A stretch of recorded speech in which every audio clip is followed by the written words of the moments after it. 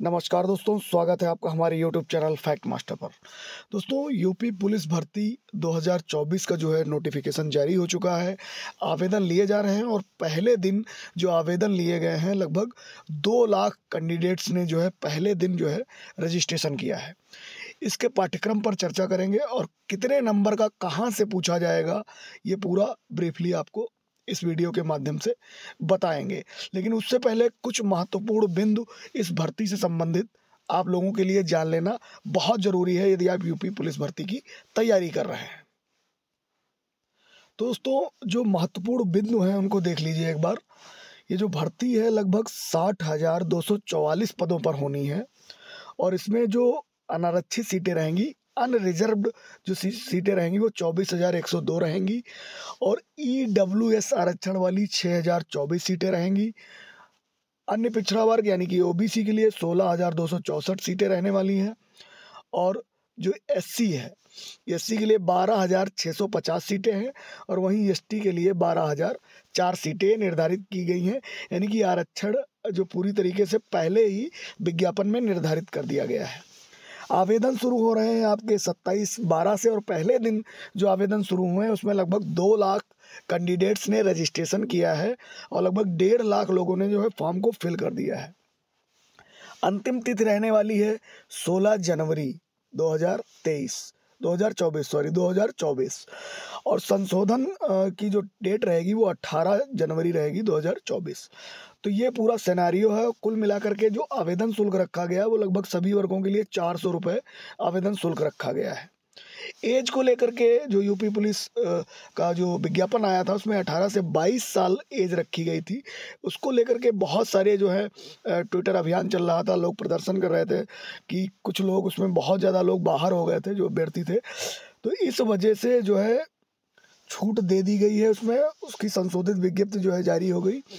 उसमें 18 से 25 पुरुष वर्ग के और 18 से 28 महिला वर्ग के अभ्यर्थी, यानी पहले 18 से 22 था पुरुष के लिए अनारक्षित और 18 से 25 था महिला के लिए। इसमें तीन तीन साल की बढ़ोतरी कर दी गई है। यानी कि जो अनारक्षित रहेगा, वो 18 से 25 वर्ष और महिला रहेगी 18 से 28 वर्ष। इसके अलावा जो अन्य वर्ग हैं, उसमें जो है नियमानुसार छूट दी जाएगी, जो भी अन्य वर्ग हैं। तो ये थोड़ा सा यूपी पुलिस जो है, जो भर्ती का विज्ञापन आया, उसमें थोड़ा सा जो भी मेन मेन चीज़ें हैं, वो मैंने आपको बता दी।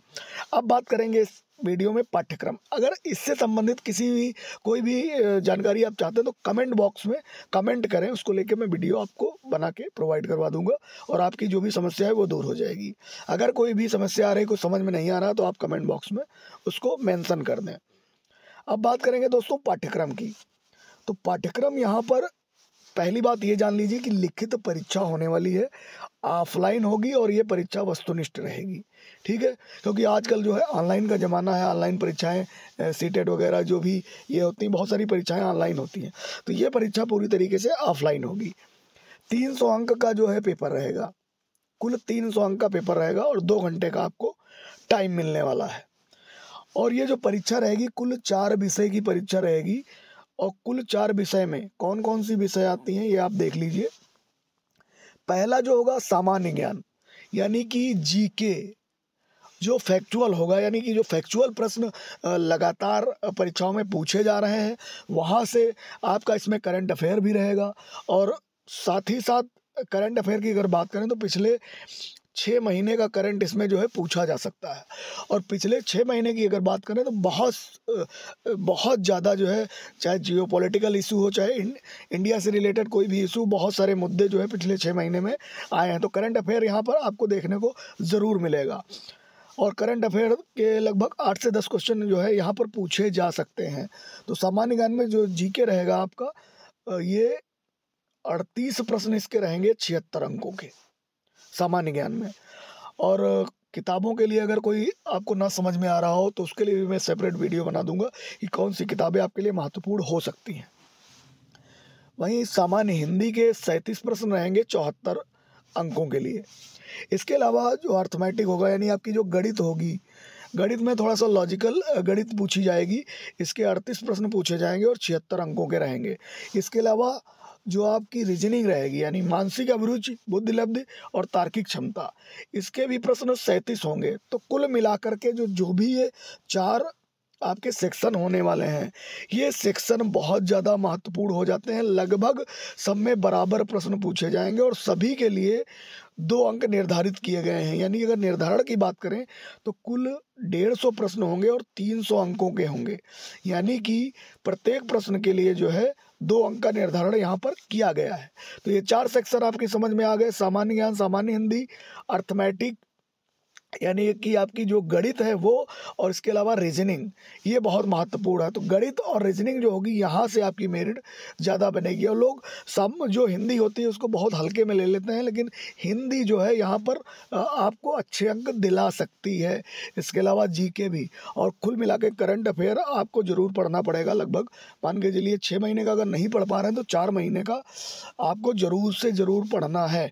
उसके लिए मैं ब्रीफली जो है एक वीडियो के माध्यम से आपको समझाऊँगा कि किस प्रकार के प्रश्न इसमें कहाँ कहाँ से पूछे जाते हैं। इसके अलावा अगर बात करें तो दो अंक निर्धारित रहेंगे, मैं बता चूँगा अभी आपको। और यहाँ पर सबसे महत्वपूर्ण बिंदु जो है, यहाँ पर ज़ीरो पॉइंट फाइव, ये आपका कटेगा, यानी कि निगेटिव मार्किंग होने वाली है इसमें। और निगेटिव मार्किंग जो है, बहुत ज़्यादा जो है, ठीक रहती है उन अभ्यर्थियों के लिए, जो अभ्यर्थी बढ़िया अच्छे तरीके से कॉन्सेप्ट समझ करके पढ़ाई करते हैं और जो है, ऋणात्मक जो अंकन है, ये ज़ीरो पॉइंट फाइव रहने वाला है। यानी कि अगर आप एक प्रश्न गलत करेंगे तो आपका ज़ीरो पॉइंट फाइव अंक कम हो जाएगा जितने भी अंक पा रहे हैं।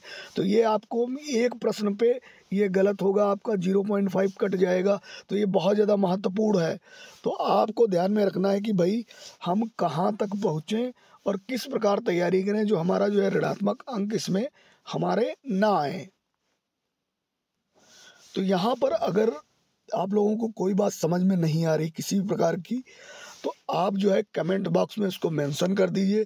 और अगर पाठ्यक्रम की बात करें तो ये चार सेक्शन आपको, जिसमें लगभग बराबर क्वेश्चन होने वाले हैं और प्रत्येक क्वेश्चन जो है दो अंक का होने वाला है। तो ये बहुत ज़्यादा महत्वपूर्ण हो जाता है। आपकी तैयारी के लिए।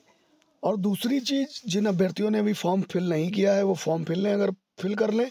अगर फॉर्म फिल करने में कोई प्रॉब्लम आ रही है तो आप कमेंट बॉक्स में मेंशन कर दें। मैं आपके प्रश्नों के जो है उत्तर आप लोगों को दे दूँगा। फ़िलहाल अभी तक दो लाख फॉर्म भरे जा चुके हैं इसके।